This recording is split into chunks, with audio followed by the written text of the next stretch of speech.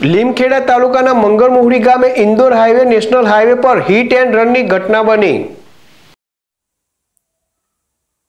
દાહોદ જિલ્લામાં વાહન ચાલકોની કફલત તેમજ પૂર ઝડપના કારણે માર્ગ અકસ્માતના બનાવોમાં દિન પ્રતિદિન તૂતિંગ વધારો જોવા મળી રહ્યો છે. તેમાં ઇન્દોર અમદાવાદ નેશનલ હાઈવે માર્ગ અકસ્માતોની વણથંભી વણઝાર વચ્ચે ધીમે ધીમે અકસ્માત સાબિત થઈ રહ્યો છે. ત્યારે આજ રોજ લીમખેડા તાલુકાના મંગર મવડી ગામે શાકભાજી ભરેલું પિકઅપ ગાડી પસાર થઈ રહી હતી.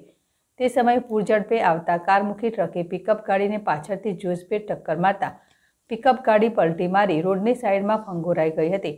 તેમજ ટ્રક ચાલક પોતાની ટ્રક લઈને ભાગી છૂટ્યો હતો જોકે પિકઅપ ગાડીમાં સવાર બે મહિલાઓનું ઘટના સ્થળે જ મોત નીપજવા પામ્યું હતું, જ્યારે અન્ય સાત લોકોને સારવાર અર્થે નજીકના દવાખાને ખસેડવામાં આવ્યા છે.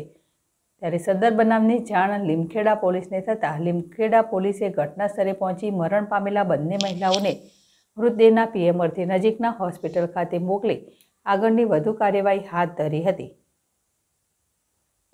મુંડા, જેડેશ ટીવી, દાહોદ.